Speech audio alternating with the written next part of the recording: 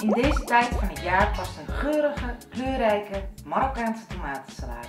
Deze salade is voor vier personen.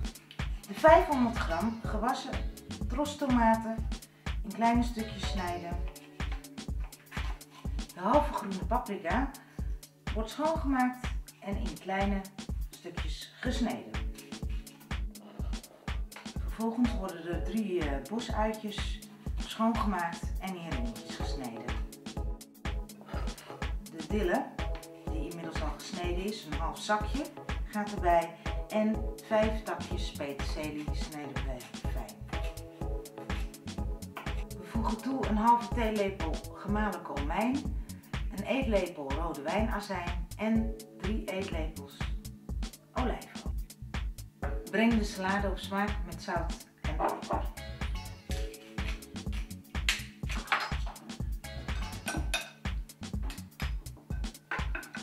Eet smakelijk en tot de volgende keer bij Kim's Kitchen.